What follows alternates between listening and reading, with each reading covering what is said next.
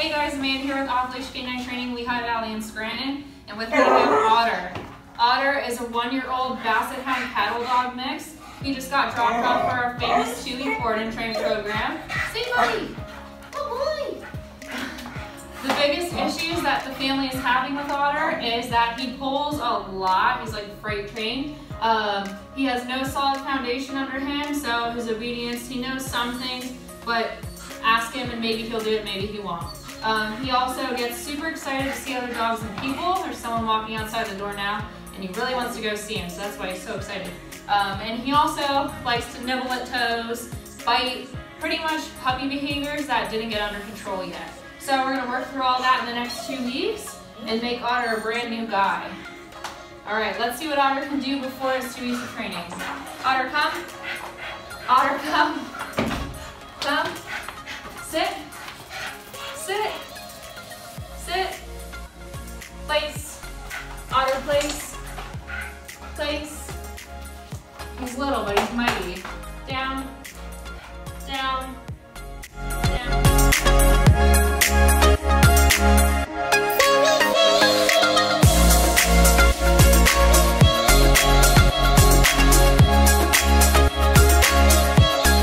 So obviously he doesn't care much about what I want him to do, but that's gonna change in the next two weeks after his training. Okay, keep watching to see how Otter changes.